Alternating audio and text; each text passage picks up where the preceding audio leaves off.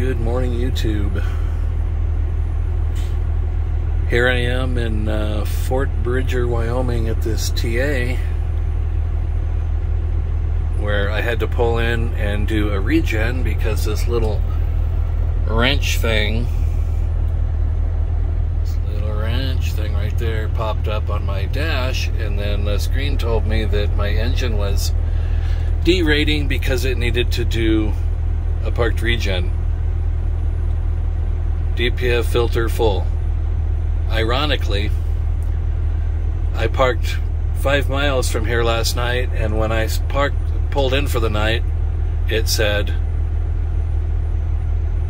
high soot level uh, regen required. So I did a parked regen. The truck ran for about an hour, maybe a little bit more than an hour. Then it idled back down. Everything was good. I got up, turned the truck off for the night, Got up this morning, started the truck, made my coffee, took my little little bulldog for a for a walk, did my pre-trip, and uh, got out on the highway, and I made it about three miles, and the light came on, the engine derated, and um, I got in here, and I'm doing another parked regen after uh, the truck was in the shop for two weeks, I had a the uh, rear end and uh, with the power divider was the seal blew out on it and it was leaking oil real bad. And uh, thank goodness it was a warranty item but one of the parts that they needed to rebuild it and put everything back together.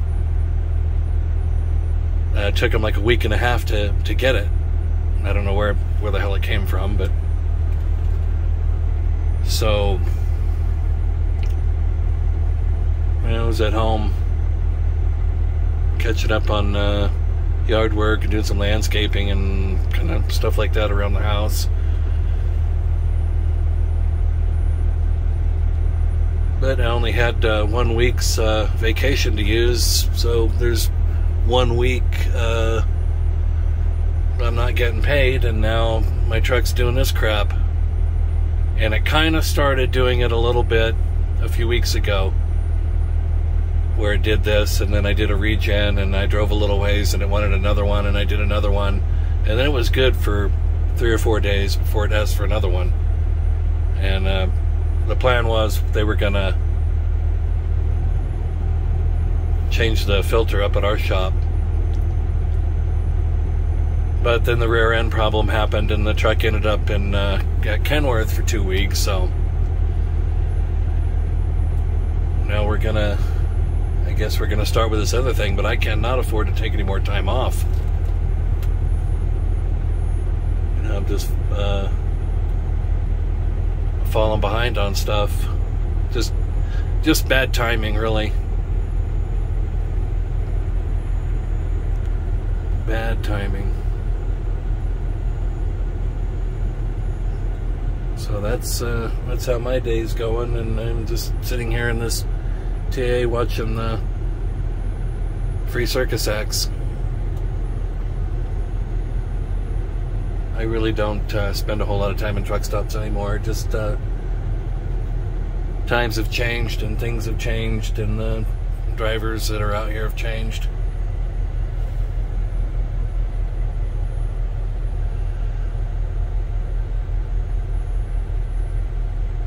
You know, and I was supposed to like this this truck here uh, is pretty nice and uh, they were supposed to order me a new truck, and it was going to be a hundredth anniversary edition, you know, numbered special edition truck with a studio sleeper, and uh, another carrier had a hard on for it, so I think they were going to sell the truck to them. So I, you know, as much as I like this truck, it's starting to have issues, but you know, it's a nice truck it doesn't have that digital screen on the dash. I whatever that thing is, I Smart Nav or whatever. I hate that thing.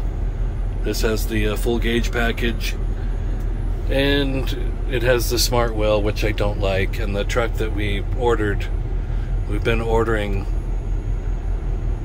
Whenever we've been getting new trucks, we get them with the full gauge package and without the smart wheel. You know, just trying to get back to back to basics here. And too much of this stuff causes too much problem in my opinion.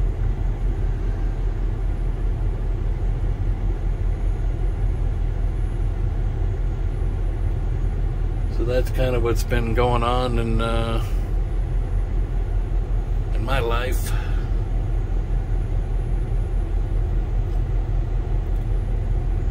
Just a quick update and uh, I know I haven't put out any videos in a long time. Just you know, I moved uh, moved. I bought a piece of property in the house and outside of a really small town, and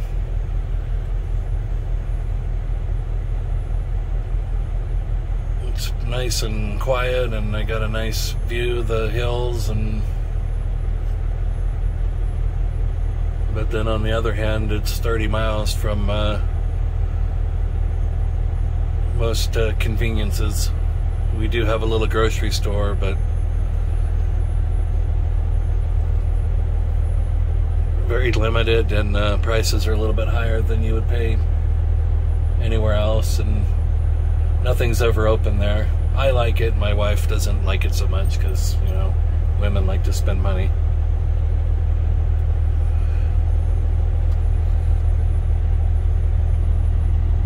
I will sit here at this TA for a little bit, and uh, well, at least my little wrench thing went away finally. So I'll let this thing do what it does, idle back down, and then I'll get back out on the road and see if uh, see how long it lasts.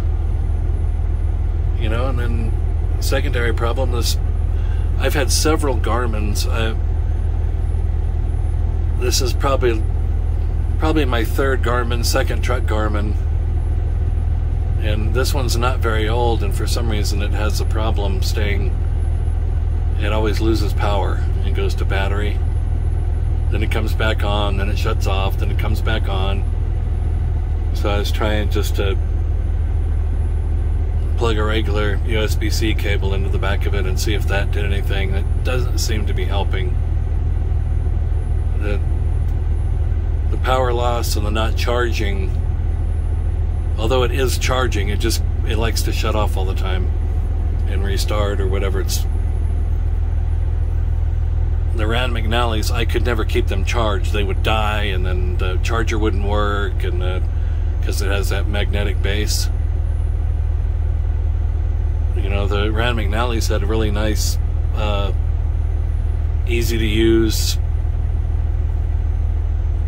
you know format on them, but their mounting system and the way they charge was horrible. I I went through two of them, and I'll never buy another one.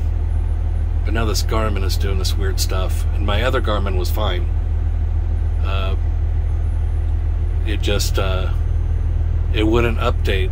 We were trying to update it, and it was working fine. But my wife insisted it needed to update, and as soon as we start messing with that and then on the phone and then connecting to the computer and then updating it. Uh, Garmin, she was on the phone with Garmin and it was plugged into the computer and they're, or they were going to send it an update. So they sent my, my Garmin an update and killed it. And they said, well, we didn't have anything to do with that. Well, it was right after you sent the update. As soon as they sent the update to it, it went it wouldn't work at all.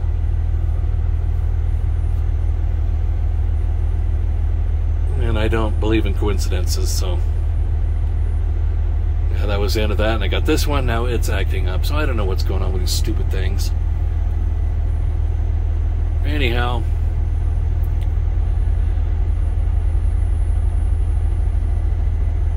I will get off here and. Uh, wait for my truck to finish doing what it's doing, and we'll get on the road. And I will catch y'all later.